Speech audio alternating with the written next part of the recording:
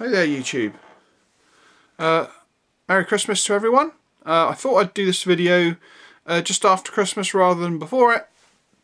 Uh, I have all your questions, uh, all, all 10 of them, uh, so it's not going to be a particularly long video, on my tablet here. And I thought I'd just add on, pen on to the end, I thought I'd just show you my my haul from my birthday uh, and obviously from Christmas yesterday. It's not a massive haul, but it's uh, it's pretty good. Um, and uh, I thought that would make uh, quite a fitting uh, end uh, to the year um, because the chances are I probably won't be posting anything else until either very very late this month or possibly most probably actually into uh, early January. Uh, so let's uh, let's get this going. Um, like I said, I had 10, 10 questions, uh, and I'm just gonna I'm basically gonna go down the, the sort of order they ended up in uh, in my comments. So there's no particular order. Um, so let's get going. So the first question is from Paul Richardson, and he asks, "Do I find the temptation of new projects hard to resist?" Or am I disciplined enough to see things through to the end before even considering anything else? Um, I would say that as far as uh, side projects go, um, I'm basically just as weak-willed as any other wargamer. Um, there's always new things coming out that, that tempt you. Uh, however, I am uh, quite disciplined and and also um, I would say finicky in in terms of uh, I like to finish things that I've started. Um, I mean, throughout this, the last couple of years, I've been concentrating on Napoleonics. I have had other things sneak in, but nothing ever really. Excuse me for a second. I've got something digging into my foot. Um, I've never really properly veered away um, from from uh, like my main project.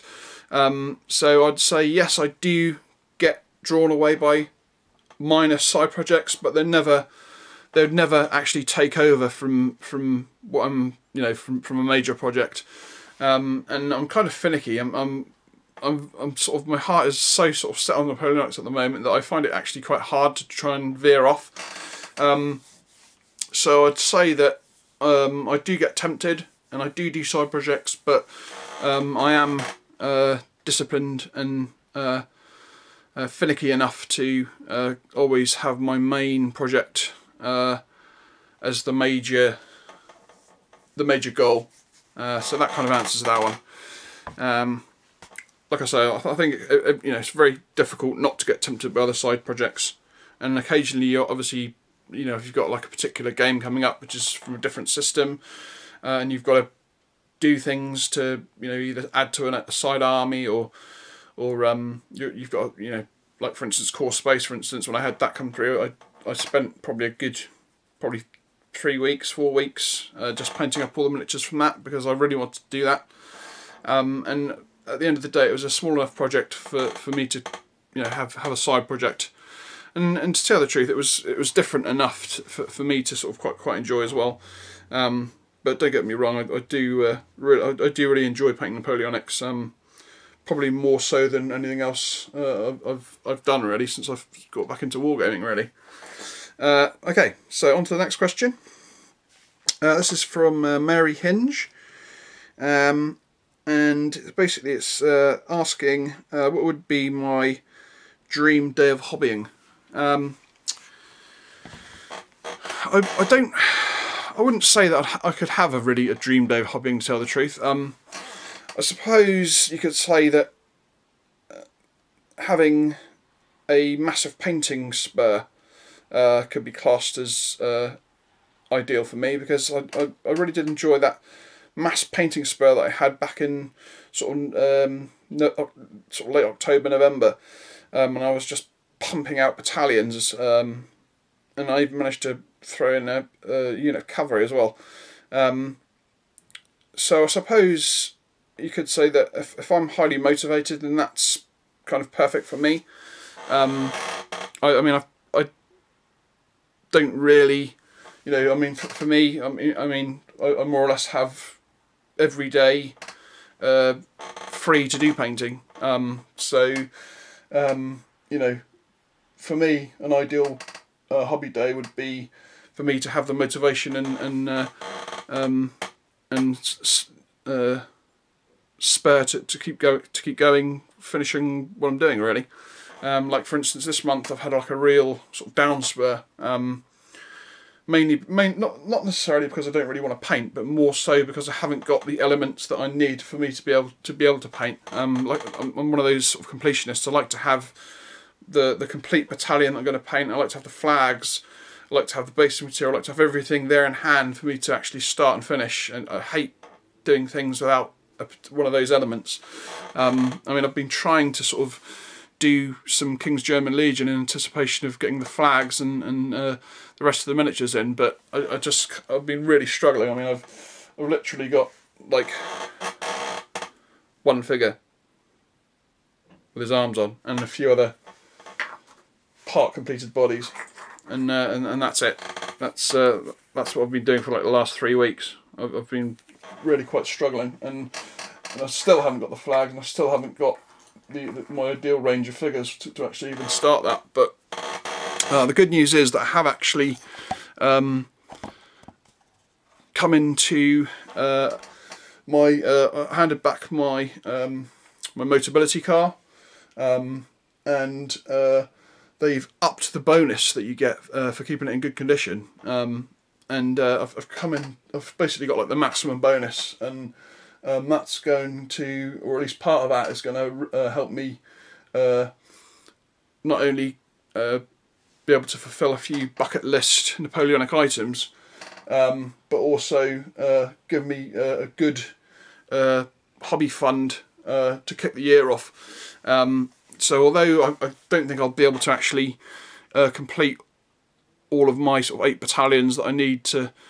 finish off my original sort of projects, um, but also, um, you know, to, to probably get a good three or four battalions out of that. Uh, and like I say, um, to to tick off a few bucket list Napoleonic items, um, which uh, more on that when I uh, either um, order them or uh, have them in hand. So that is that. So let's go on to the next. Uh, this is from uh, BJ Kerno Modelling. Uh, how did I manage to paint all of the Chasseurs de Cheval uh, as cavalry seems to set my motivation? Uh, yes, that's very true. Um, I'm not a great lover of painting cavalry. Um, I'm one of those sort of strange people that I really love cavalry when it's when it's complete, but when it comes to actually painting them, um, I find that it really sort of drains my motivation quite quickly. Um, and to tell you the truth, uh, Chasseurs de Cheval, um, I mean, they can be draining, but I tend not to do multiple cavalry units at one time. Um, I mean, if you think about it, the, the sort of three units of cavalry that I did, I mean, I suppose you could say that I've done in over the last year um, five units of uh, well four four units of cavalry and touching up uh, and modifying one. Um, and that is like that's probably the most cavalry I've ever painted in my life. To tell the truth, um, I mean I've never really even back in the, the, the my old sort of GW days in the sort of the eighties, um, when I, suppose uh, they were really. I mean, I suppose there were other figure companies around, but I sort of, you know, as far as I was concerned, at that sort of uh, sort of fairly young age, and sort of GW stuff was really the sort of only sort of figures that I had any really, really interest in. Um, but I really never even, I suppose I was probably painting for probably a good 10 years um, from sort of like my early teens um, going up into sort of like my early 20s I suppose well maybe a little bit before that but say sort of like sort of 17 18 was probably the sort of time when my painting was starting to peter out um, I've never really I don't think I've ever really painted a, a whole cavalry unit. I mean, I, I think I painted figures on horseback, um, but never really uh, a whole unit. Um, I think probably the most I ever painted was maybe five, and they're probably Imperial Guard Rough Riders, the old school ones, um, which um, I didn't particularly paint very well, and uh, I think they just kind of, in the end, you know, got shoved to the side really. Um, so, I mean, I suppose the, the, the best way to do cavalry, in my opinion, is, I mean, I've been trying all sorts of different ways to try and improve my motivation to do these things, and I tend to now paint all the horses first, or as many of them as I can, uh, and do the guys last. Um, and something that I always do is I always leave the uh, the command figures to the very very end. Uh, sometimes even including the horses, and I find that that helps spur me on uh, to be able to actually complete them because uh, I do always really enjoy painting uh, uh, command groups.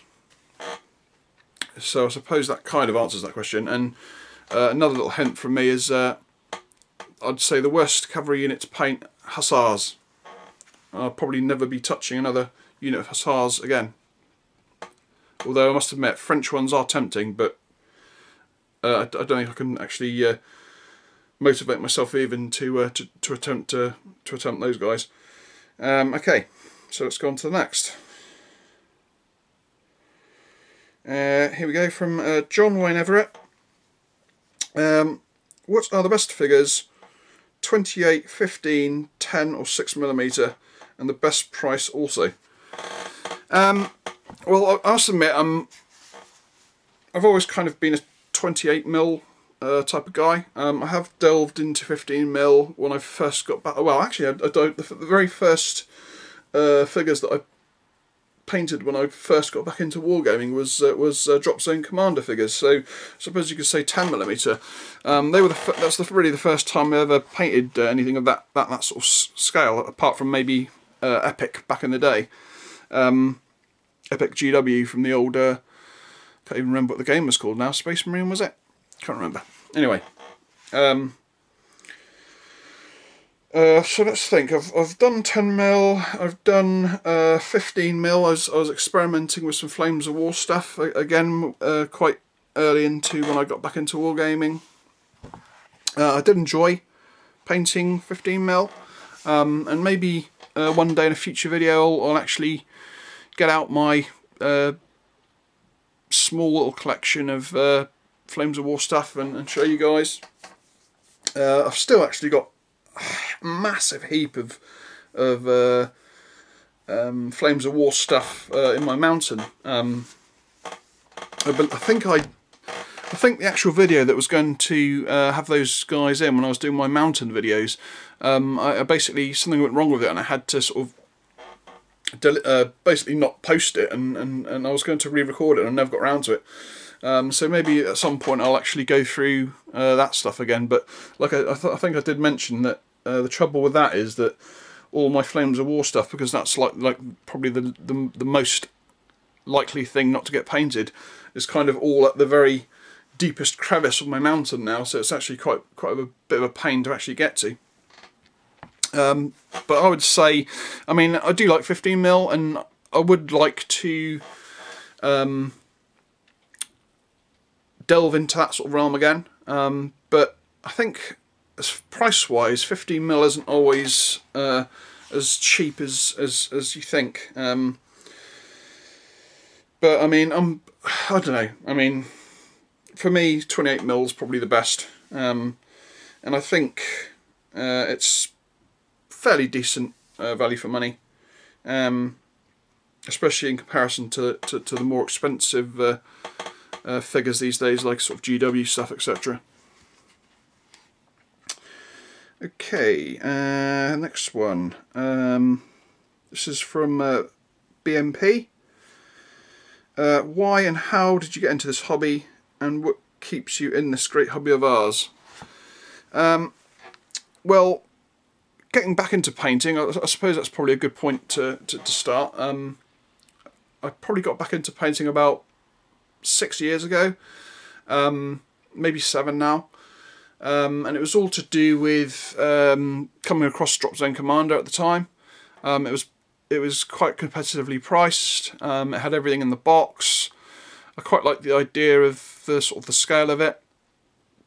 Um, however, when I sort of um, you know painted up the starter set and was starting to think about expanding, I found that the prices weren't really as cheap as they as they seemed, um, and I soon sort of moved on to something else. Uh, probably within a few months, um, and I think after that I'd, I'd been I delved into Flames of War.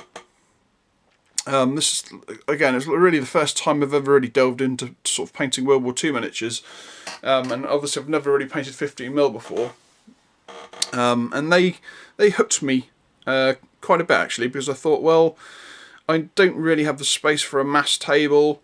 Um, I would really like to sort of go into sort of like uh, Napoleonics, but I don't think I've got the room for, for like um, a massive French and British army. Because I sort of solo play, I always have to collect two armies.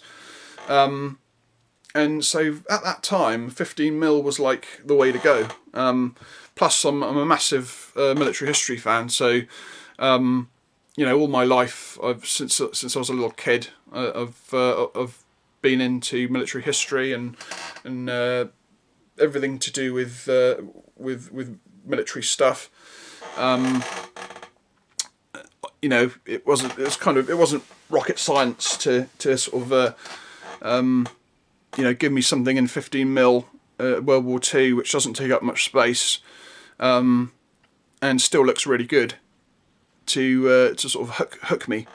Um, so I suppose I was doing like you know Flames of War for a while. I actually, like I say, got got in quite a heap of stuff. Um, but then I ultimately got hooked towards uh, bolt action um, because obviously you know 15 mil yeah you can put a fair amount of detail into that but when it comes to uh, you know a fair decent amount of, of, of detail got to go uh, 28 mil. Um, and that's when my my uh, bolt action uh, phase hit me. And I was pretty hardcore on that uh, for, for quite a few years. Um, I mean I've got a whole bunch of uh, armies um, that I've a lot of them I haven't even played with to tell the truth. Um, I think I've played like literally five games of bolt action ever. Um, and I always ended up using my Germans and my Americans and, and that was more or less it um, but armies wise I've got uh, Japanese I've got Marine Corps I've got uh, French, I've got Italians, um, I've got British, um, I've got half, well, not even half, but a, a small chunk of Finnish. Uh, all these uh, guys are, are, covered in, in my video library if you look right the way back towards the sort of start.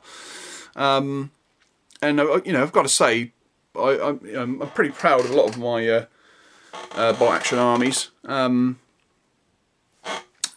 and then I suppose uh, I think Saga was the next thing that I kind of got into.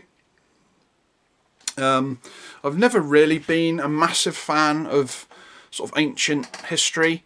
Um, I remember when I first started university, I was originally going to do just straight history, um, and I think within the first week I'd uh, gone and changed my course to modern history um, because I didn't really want to go into all the sort of religious stuff that the sort of ancient type, ancient history combines. Um, all the stuff to do with like you know the the hundreds of different bishops and and all, you know everything's very sort of church orientated and I really didn't want to bog myself down with all that sort of stuff. Uh, so I soon changed to uh, modern history. Uh, but at the same time, um, I've always had uh, an interest in sort of like the you know the Romans and the Greeks. Uh, not so much the sort of Vikings and stuff like that, but uh, strangely enough, when I got into Saga, my my very first army was was Vikings for, some sort of bizarre reason. Um, so, you know, I suppose my my sort of interests in sort of military history have broadened, but um, you, you know, at that, that particular time, um, Saga was really sort of a side project. Um, and again, I sort of, you know, I kept doing bolt action uh, as, as my sort of mainstay. Um, but you know, again, I ended up with um, four, four or five Saga armies um, of quite large size. Um, because I found that playing uh, the larger point games was actually more fun than playing sort of four, four to six points as sort of the, the normal sort of sized game. Um, but if you sort of boost that to sort of 10 points, then it actually becomes uh, a hell of a lot more uh, fun to play. Uh, and I've probably say I'd probably say that um, I've probably played more Saga uh, games than than a lot of other things. Uh, I mean, I've never actually played Flames of War. Um, I found the rules very very difficult uh, and and um, in in some respects unrealistic.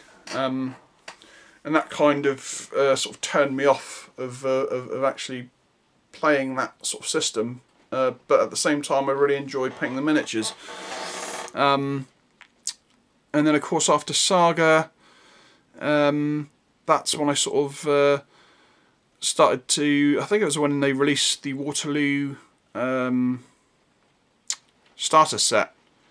I decided to jump. Um, like I say, I've always had a, a, an interest to collect Napoleonics, I was always worried about the space to keep large armies in. Um, when they first released the, the sort of starter set, I thought, wow, you know, this is a um, a a really decent price. B gives me everything that I need. Um, and uh, you know, I'll just you know I'll just collect uh, you know battalion. Uh, uh, not sorry, not battalion uh, a brigade or two, you know, um, and uh, and I'll have the room to sort of keep it in, and um, I'll you know I'll, be able to sort of delve into Napoleonics, which, which is something that's always kind of um, that I've always kind of really wanted to do. And uh, of course, uh, that soon uh, digressed into uh, me deciding to collect entire corps, um, even though not corps divisions. Um, even though uh, I've kind of abridged them a little bit. Um, so they're not quite the sort of grand scale of, of uh, you know multiple battalions per division, um, and more so one division, one battalion per division. But um, you know we're talking uh, a fair chunk of figures, um, and as you can see, uh, they take up both of these quite big, quite big and uh, deep shelves here and here. Um, so that hopefully covers that. I'm kind of uh, um, going a little bit beyond these questions, but um, it's uh, like I said, I've never done a Q&A before, so uh, I'll probably expand on the questions a little bit.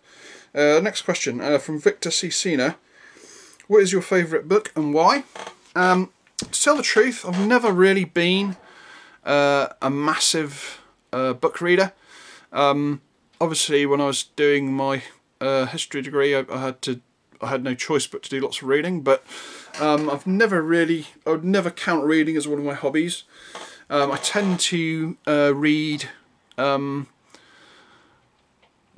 I mean, reference books is a different story, but as far as like sort of um, you know a, a, a autobiography or uh, memoirs or um, a 40k book or Star Wars book, stuff like that. Um, I've never really been the sort of person to sit down and read a book. Uh, I always tended to uh, read uh, just before I go to bed. Um, and to tell the truth, I, I, kind of still do that even today. Um, but on that point, it doesn't mean that I haven't read books that I've really liked uh, and, and have uh, sort of reread. Um, so I'd say, um, just double check on the question so I don't go off on a uh, on a tangent. Um, I'd find it hard to say my favourite book, um, but I'll just spurt off a few uh, that I've really enjoyed uh, and have uh, read multiple times. Um, the first, uh, I suppose you could say a, it's a I think they're called the Starbuck Chronicles uh, by Bernard Cornwell. I, I, really enjoyed those books with uh, Nathaniel Starbuck, um, a guy from the uh, the north of uh, uh, America, uh, ending up joining the Confederates and as a sort of a, a, a, lieutenant, um, and sort of his adventures throughout through the American Civil War. Um, I think I've read three of the books. I don't. I don't. I'm not sure if there is a, is, a, is actually any more. Um, but I did really enjoy those, uh, and I have read them like two or three times through. Um, what else? Uh, there's a I can't remember the name of the book, but it's a 40k book by I think Dan Abnett, and it's about Imperial Guard or Imperial Navy uh, flyers uh, flying Thunderbolt fighters um, against Chaos. Um, that book I I absolutely loved. Um, I've always been I've, I've, although I haven't really delved into 40k since I was uh, a kid. Um, I've always liked the Imperial Guard, um, and I've always uh, had a fascination uh, about being a fighter pilot. So uh, put those two things together, um, and uh, that book uh, immediately uh, hits my buttons, and I absolutely love that book. I don't know why I can't remember the name of it, um, but I think I've read it like five or six times since I've had it. Um, I've got like the hardback edition um, and uh, I've kind of been looking around to see if there's actually like an audiobook version of it because I'd really like to uh, to uh, hear the audio version to sort of see what sort of uh, the, the way that it's um, what sort of you know how it's sort of read read out to you uh, from the audiobook style. Um, and then sort of Star Wars books as well. I'm quite a, quite a big Star Wars fan. Um, I have been my entire life. Um, and although I'm not a mass, like I say, I'm not a mass book reader, I have read obviously the uh, Heir to the Emperor and all, all, all that sort of series. I uh, really enjoyed those. I've read those through uh, two or three times. Um, the Rogue Squadron uh, series of books, uh, again, uh, you know, slightly fighter fighter pilot orientated. so kind of again, those sort of books really, I really did enjoy those. Um, and um, that's probably about it. I mean, I've, I've read loads of sort of memoirs and, and autobiographies from, from sort of uh, all, all sorts of militaries. Um, and uh, uh again, there are uh, several books of, of uh, within that sort of genre that, that I've read many times and, and really do enjoy. Um, although uh, no titles actually spring to mind at, at this particular moment.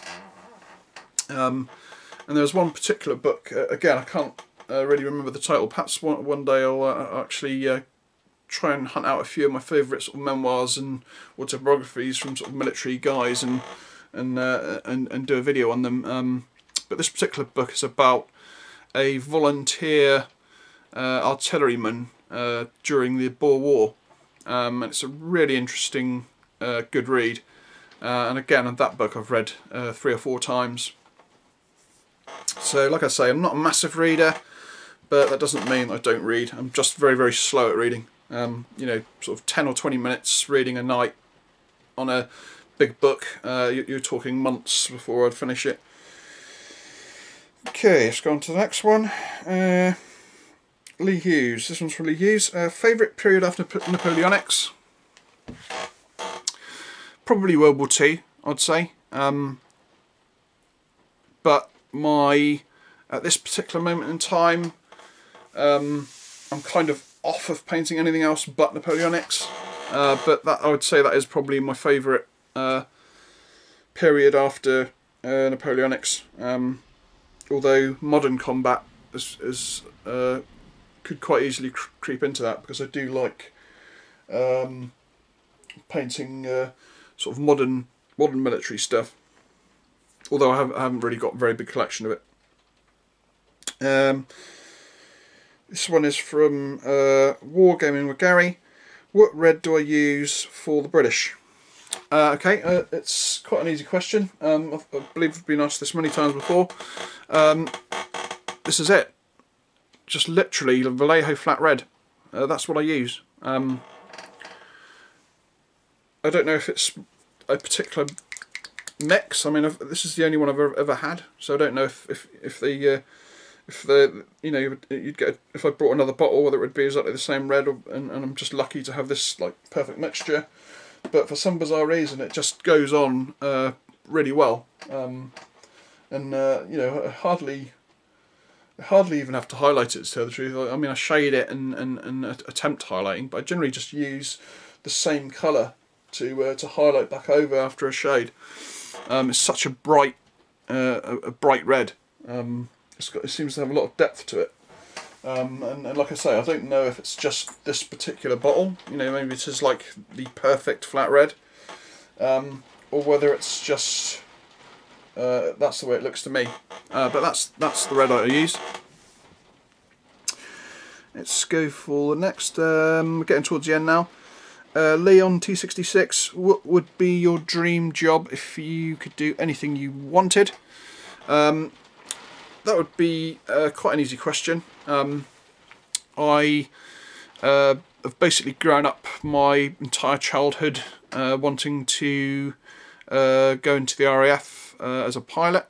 Um, I also had my sort of little career path. you know, if I couldn't get into the Air Force, I'd join the Navy as a pilot. If I couldn't get into the Navy as a pilot, I'd join the Army as a pilot. Um, and if that all failed, then perhaps I'd even go down to the depths of joining the police and trying to become a pilot uh, through the police.